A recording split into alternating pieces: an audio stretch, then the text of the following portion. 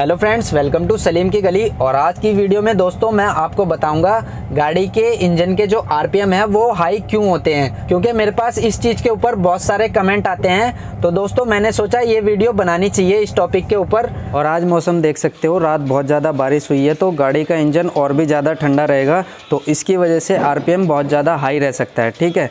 तो अभी मैं आपको गाड़ी स्टार्ट करके दिखाऊँगा और इसका आरपीएम कितना जाता है और कितनी देर में ये नॉर्मल कंडीशन में आता है, वो भी मैं आपको अभी दिखाने वाला हूँ, ठीक है? तो चलते हैं गाड़ी के अंदर और इसको स्टार्ट करके देख लेते हैं, और अभी सुबह सुबह मैं पहली बार ही स्टार्ट कर रहा हूँ गाड़ी को, ठीक है?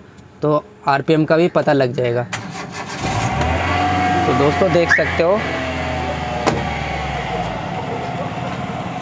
वैसे तो आज ज़्यादा देर इसका आरपीएम इतना हाई नहीं रहा, लेकिन अभी हाई है इसका, ठीक है? और अभी मैं आपको इंजन की आवाज़ भी सुना के दिखा देता हूँ। अभी थोड़ा सा ज़्यादा हो रहा है इसका आरपीएम, ठीक है? मैं माइक को इंजन के पास ले जाता हूँ।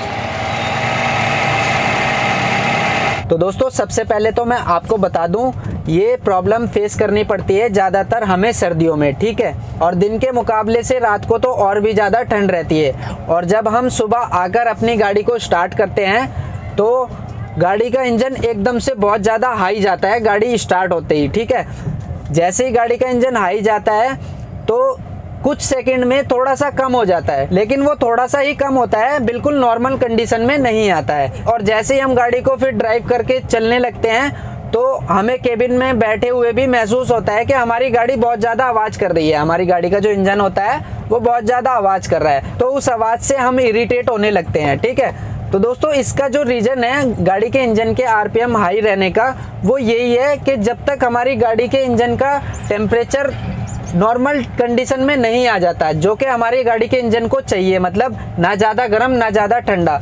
तब तक हमारी गाड़ी का जो ईसीओ होता है, वो इंजन को सिग्नल भेजता है और हमारी गाड़ी का इंजन अपने आरपीएम को तेज रखता है और ज़्यादा फ्यूल बर्न करता है, ठीक है? और फ्यूल ज़्यादा बर्न होगा तो उसकी वजह से जल्दी से जल्दी हमारी गाड़ी के इंजन का जो टेम्परेचर है, वो नॉर्मल कंडीशन में आ जाएगा, जितना टेम्परेचर हमारी गाड़ी के इंजन को चाहिए। इसी वजह से गाड़ी के इंजन का आरपीएम ज़्यादा हाई रहता है, खासकर सुबह सुबह स्टार्ट करने में, ठीक है? अगर हम दिन में स्टार्ट करते हैं और गाड़ी हमारी बाहर धूप में खड़ी है तो ये सिर्फ़ कुछ ही सेकंड में खुद ही नॉर्मल हो जाता है। गाड़ी के इंजन का आरपीएम ठीक है? और दोस्तों, ये वाली जो बात मैंने अभी आपको बताई है इंजन के आरपीएम के बारे में, ये 50 परसेंट लोग जानते होंगे। हो सकता है ज़्यादा भी जानते होंगे इस बात को, ठीक है?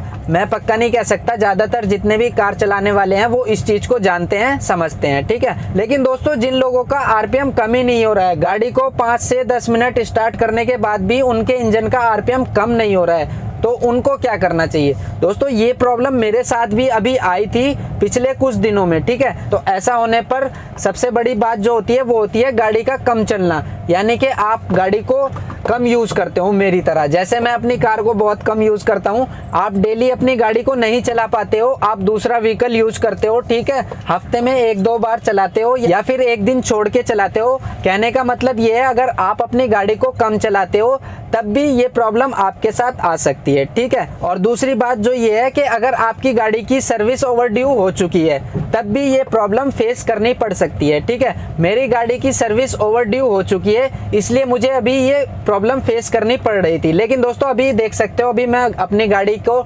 जैसे ड्राइव कर रहा हूँ तो मेरी गाड़ी का जो इंजन का अभी आरपीएम है, वो बिल्कुल नॉर्मल कंडीशन में आ चुका है, क्योंकि दोस्तों, मुझे अपनी गाड़ी को ड्राइव करते हुए लगभग 15-20 मिनट से ज़्यादा हो चुके हैं। तो इतनी देर में तो गाड़ी का जो टेम्परेचर मीटर है, उसमें सुई उसकी उन डॉट के बीच में आ चुकी है, ठीक है? जो कि हमारे गाड़ी के इंजन का नॉर्मल टेम्परेचर रहना चाहिए, उतना हो चुका है। तो ये चीज़ ऐसे भी ठीक हो जाती है। तो गाड़ी को स्टार्ट करने के बाद आपको क्या करना है? जो हमारी गाड़ी का एक्सीटर पैडल होता है, उसको आपको बार बार ऐसे प्रेस करना है दो तीन बार। जैसे अब कभी आपने देखा होगा ट्रक ड्राइवर जब अपने ट्रक को बंद करते हैं तो वो ऐसे अपने एक्सीटर पैडल को दो तीन बार दबाकर तब बंद करते हैं। यानी कि रेस देकर बंद करते हैं। तो वो उनका एक डीजल का अलग मैटर होता है, वो उस पर मैं बात नहीं करूँगा, लेकिन मैं सिर्फ़ एक एग्ज़ाम्पल बता रहा हूँ आपको।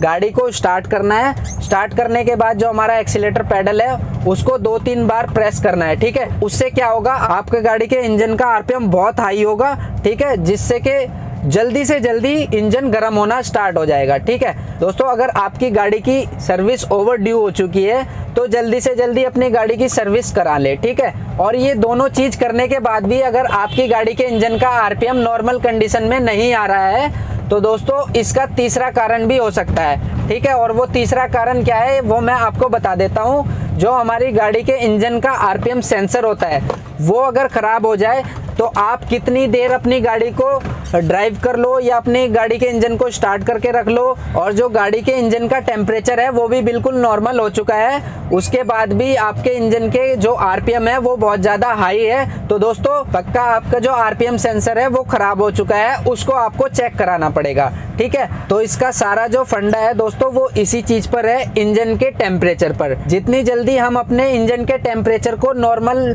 टेम्परेचर पर नहीं लाएँगे, तब तक हमारे गाड़ी के इंजन का जो आरपीएम है, वो ज़्यादा रहेगा ठीक है? आपको इरिटेट करेगी उसकी आवाज़ इंजन के आरपीएम की। ठीक है? तो इससे छुटकारा पाने का यही तरीका है। अगर आपके इंजन के आरपीएम का सेंसर बिल्कुल ठीक है तो आप ये दो ट्रिक अपना सकते हो। तो दोस्तों, ये वीडियो अगर आपको इन्फॉर्मेटिव लगी है तो मुझे कमेंट करके ज़रूर बताना। और अगर आप मुझसे डायरेक्ट बात करना चाहते हो तो मुझे इंस्टाग्राम पे फॉलो करके वहाँ पर मुझे मैसेज कर सकते हो। मेरे इंस्टाग्राम का लिंक आपको डिस्क्रिप्शन में मिल जाएगा। तो आज की वीडियो में फ़िलहाल इतना ही। अगली वीडियो आने तक के लिए बाय दोस्तों।